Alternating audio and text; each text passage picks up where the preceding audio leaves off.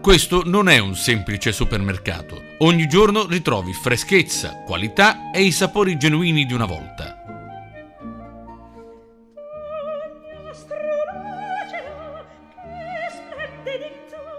Settimana di allenamenti serrati per l'US Angri in vista di quello che sarà il mese decisivo per le sorti della squadra grigio-rossa.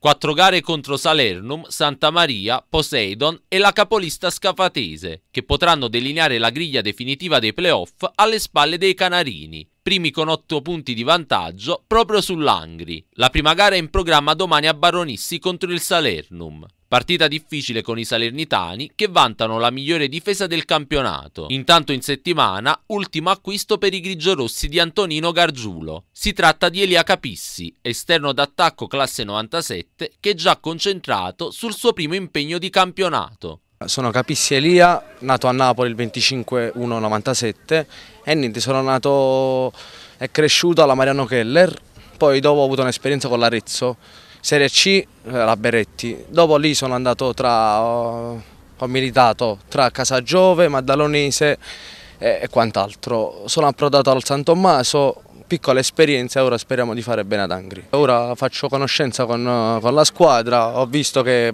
sono fortissimi, speriamo di dare tanta gioia al popolo di Angri che merita. Una gara difficile e piena di insidie per l'Angri, che i grigiorossi vogliono affrontare con al fianco i propri tifosi, arma in più della squadra. L'appello di Capitan Loreto ai sostenitori. l'appello è quello di seguirci sempre, è ovvio che, come detto prima, evitare comportamenti che poi possono portare a squalifiche e a gare giocate a porte chiuse perché per noi sono un punto di forza e se poi non c'è la loro presenza questo può andare contro di noi quindi è meglio evitare.